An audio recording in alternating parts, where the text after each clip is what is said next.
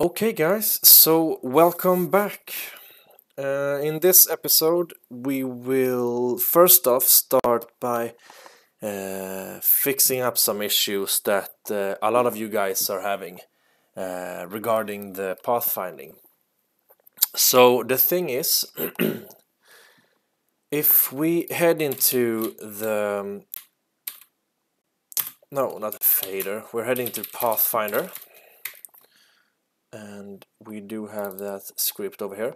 So the thing is that this let me resize this. So this get point index grid grid end this can sometimes result in a null pointer exception. And if that occurs well then the game crashes. So I'll actually show you. So if we head into the player script and under uh, over here we can say velocity dot y uh, plus equals let's say 0 0.01 times delta or 0 0.1 so this will just make the player's y uh, y position increase. Uh, he will start floating up in the air and this will result in a crash. And I'll tell you guys why. As you can see we are lifting slowly but surely and there it goes. Well there it crashes. And this is due to the uh, just as the uh, just as the uh, error message says here uh, cannot convert argument 2 from null to int. So argument 2 which is this argument this is null pointer. And this is due to the fact that the monster is trying to get to our position. And when our y position is not on the uh, on the index 0 uh, or rather when the y position is any other variable than 0 then the, the monster will try to get, for instance, he'll try to get to y position 1. That is not a, a valid vector uh, in the indices array. Um, so we'll have to fix that. We need to make sure that when we're trying to get to a position, we need to make sure that it uh, it's within the indices array.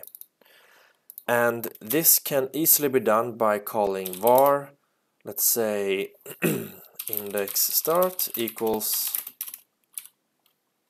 equals get uh, get point index grid start and index end equals get point index grid end if index start um, equals null or index end equals null then we just return. Because so if either this index start or index end is null we can't find a valid path to the player.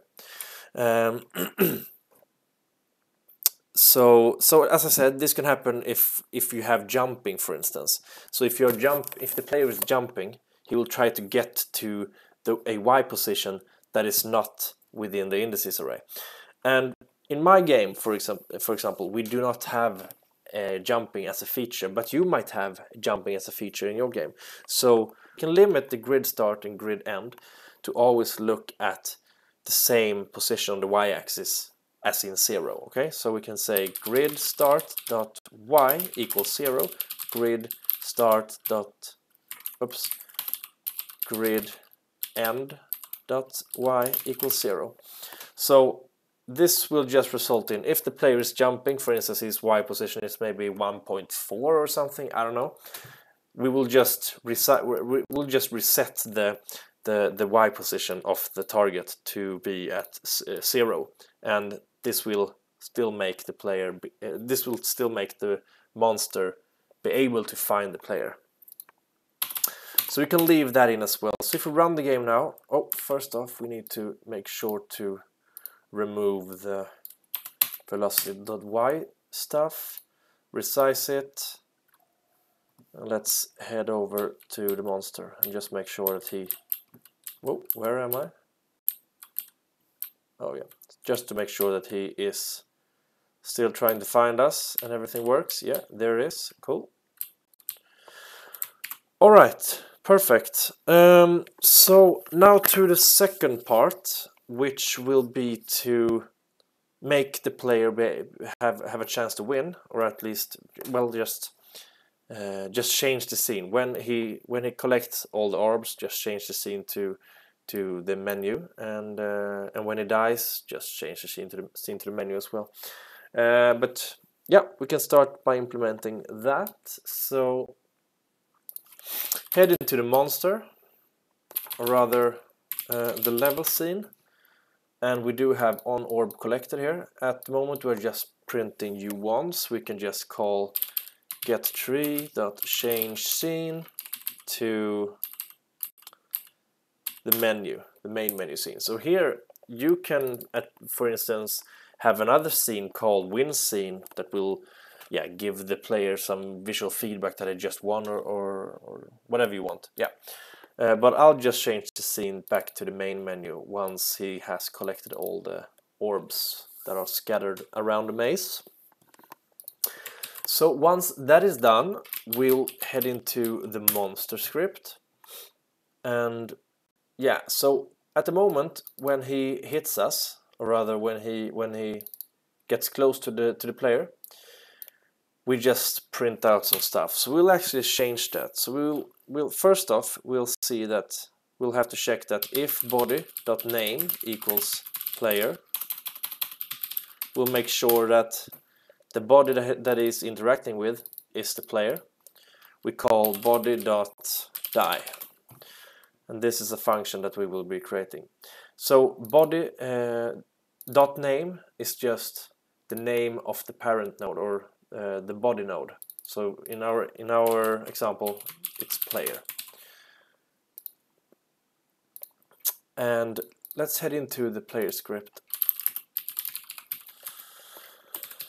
Okay, so we'll do a couple of things here. Uh, when we die, we will start to shake the camera for a couple of seconds and and we'll start to fade out the scene as well. And once it's faded out, we will we will change the scene back to the main menu. So this first off needs to uh, have a the player needs to have a a fader. So whoops, let's instantiate one of those. It will start to be fully transparent, perfect. So we will also create two new variables, so var shake amount equals 0.01 and also var uh, we need another is dying equals false. Is dying equals false yeah. So when we die we set is dying equals true. And before we do anything before we process our input or process our movement we check if is dying. And if we are dying we will start to shake the camera. So this can be done by calling shake shake amount times equal plus equal sorry 0.02 times delta.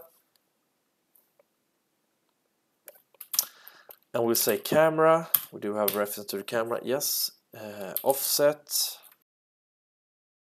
Horizontal offset equals rand range.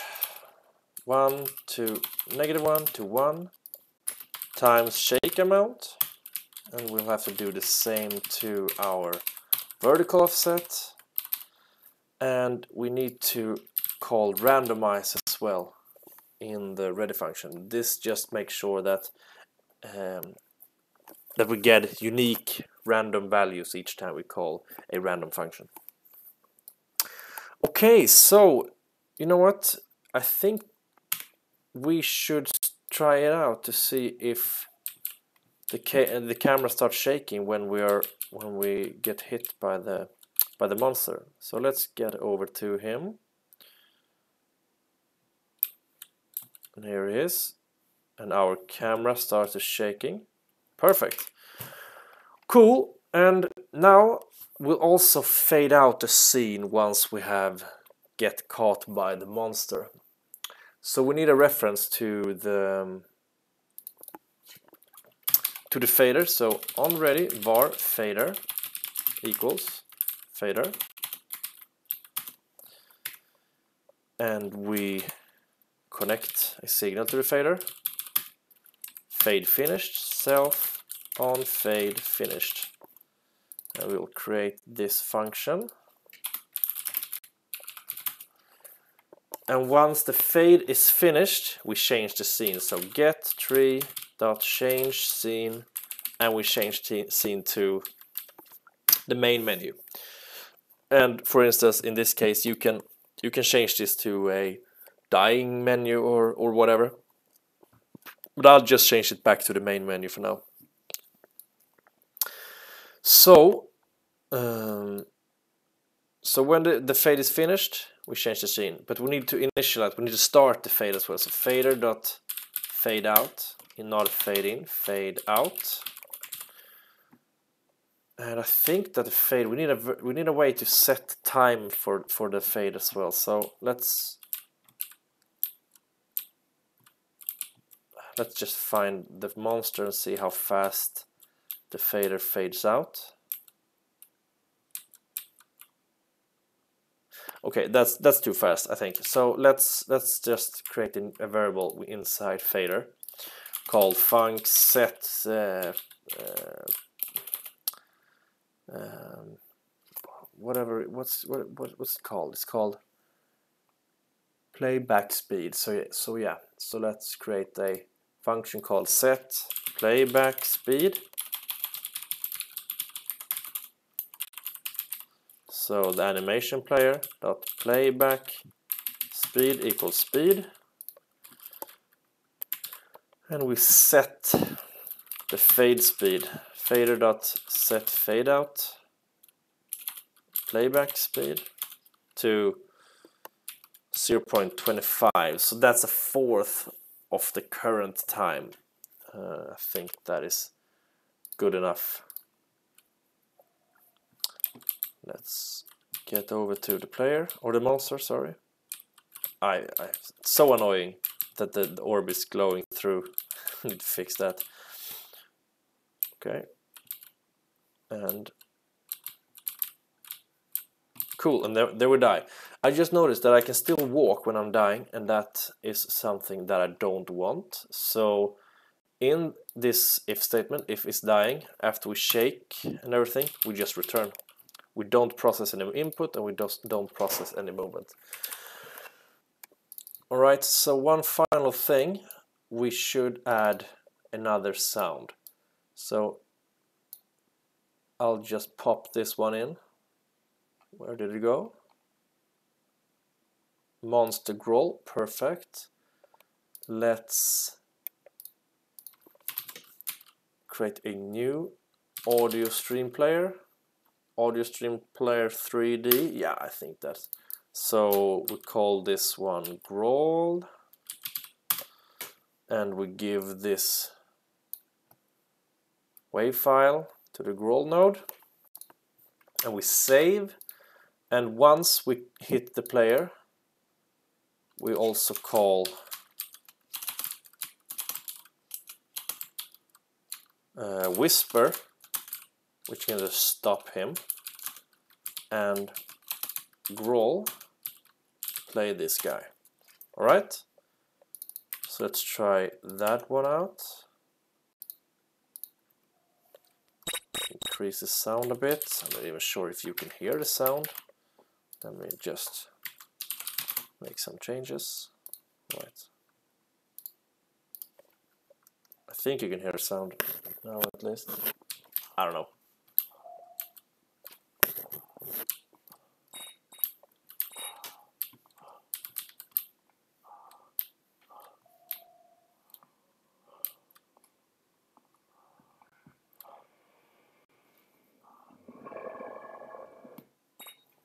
Okay, that is dope. That is dope as hell. Let's head into the player. No, not the player. Yes, the player. When we die, uh, we can set this to maybe 1.15. Yeah, let's try it out. Let's see if we can hear the monster growl a little longer. I always take the wrong path here. Where am I? Hate this maze. Okay. Let's approach the monster.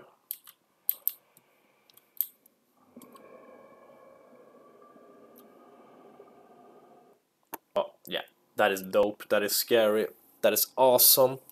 And this episode is done. Okay guys, so peace out. Uh, stay healthy, stay cool, and all that fun stuff. And subscribe. Bye.